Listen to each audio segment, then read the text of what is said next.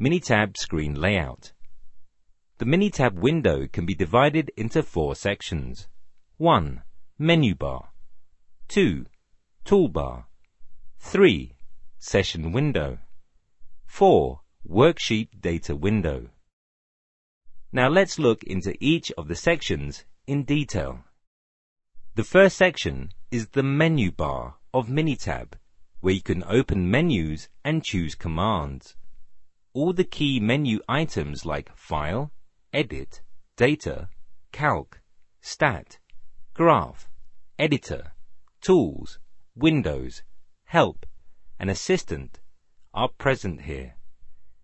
Each menu in turn has many other commands in them, which can be accessed through the menu bar. There are multiple short keys that are also available within Minitab to access these commands. The toolbar provides a quick shortcut to issue some Minitab commands. By clicking on Toolbar, it performs an action or opens a dialog box. The toolbar displays different tool buttons, depending on which Minitab window is active. Session window is the area that displays the statistical results of your data analysis and it can also be used to enter commands. All textual, non-graphical output will appear in the session window. As appropriate, headings will reflect the commands that you have actually created. While the session window is active, click on Editor and then either select or deselect Enable Commands. Worksheet Data Window, also referred to as Data Window, is a grid of rows and columns used to enter and manipulate the data.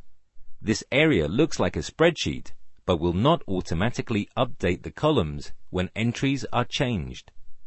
You can open multiple worksheets each in a different data window.